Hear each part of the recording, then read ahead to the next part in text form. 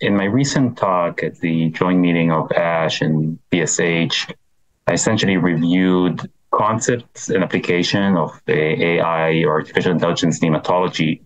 We discussed first a bit about the drivers of uh, artificial intelligence progress and in uh, medicine and hematology in particular. And I think we identified four main concepts.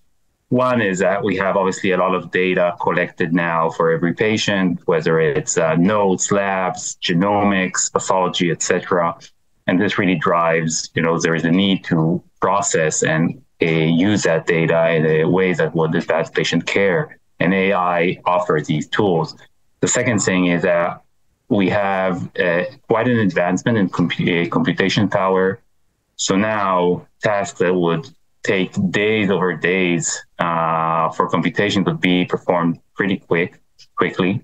The third thing is the algorithmic breakthrough, and I think one field that we identified in particular is deep learning, which is a iteration, essentially more advanced iteration of artificial neural networks and is used commonly for speech recognition, natural language processing, computer vision, and has a lot of implications in, in medicine.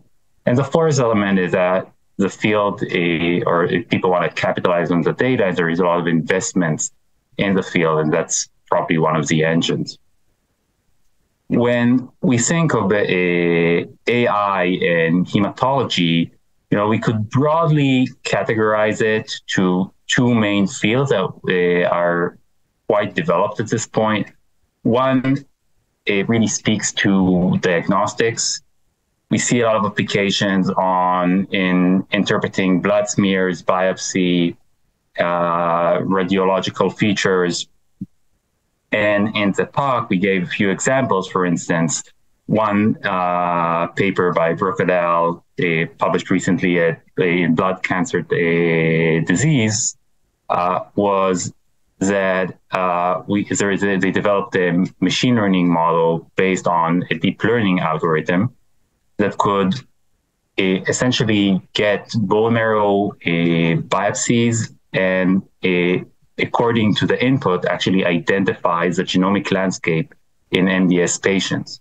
And there are a lot of other applications for interpretation of uh, blood smears and, and uh, other pathology measures. Uh, the second field that there is a lot of activity with machine learning and AI is for prognostic or treatment personalization. However, I feel that mo- most of these models have not yet had a large impact in patient care. When thinking a bit about, you know, what are the challenges we have in the field and, and how can we drive it forward? The main issue is data. So in order to really benefit for from these AI algorithm or deep learning algorithm, we need a lot of data because these are data hungry uh, algorithms. And, and the problem that was also mentioned in the last meeting is that many data sources are siloed and we don't have good networks of collaboration. So now it's not really about technology, it's rather having you know the stakeholders together and, and trying to find a way to share the data and keep patient privacy. The other uh, challenge we identify is uh, essentially related to the algorithms and technology used. So these are not straightforward to uh, implement. They still require a lot of computational power which is not available, you know, on site for many centers or academic centers. I think that as the infrastructure improves, but also as the algorithms become more efficient, we could probably implement them uh, in an easier way. The third point I think is a challenge is that many AI models are black box models, meaning that we don't understand the rationale behind a certain classification, diagnosis, prediction. And this is even worse, quote unquote, in deep learning algorithms where they're so complicated you can't understand, uh, uh, you can't really understand or figure what was driving the prediction. There are some tools to analyze the prediction, the drivers or predictions post hoc, but still it's not as we as clinicians are used to have you know standard regression models where we actually have a coefficient that we know what its role and how it contributes into a, to prediction. One additional challenge is eh, assuring a data or model generalizability.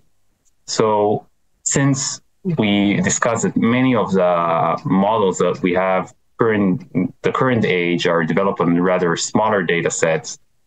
We don't have good validation sets, and a, you know now as part, for instance, the process of a, a, a making a machine learning algorithm or a base device, a machine learning based device, eh, commercially available. The FDA actually wants to track the a, a validation cohort and make sure that it continues to perform its task in an optimized optimized way, even on external data sets that they won't the model was not trained on. So I think whenever, especially judging, you know, papers on machine learning or application of machine learning, you should also always ask, you know, what is the data that the model was trained on?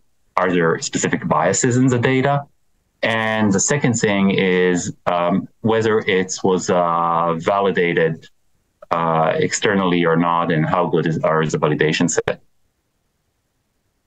And um, regarding where and how is it it's going to move forward, in my opinion, the main applications, the current applications of, of AI is making the routine tasks we perform as physicians more efficient.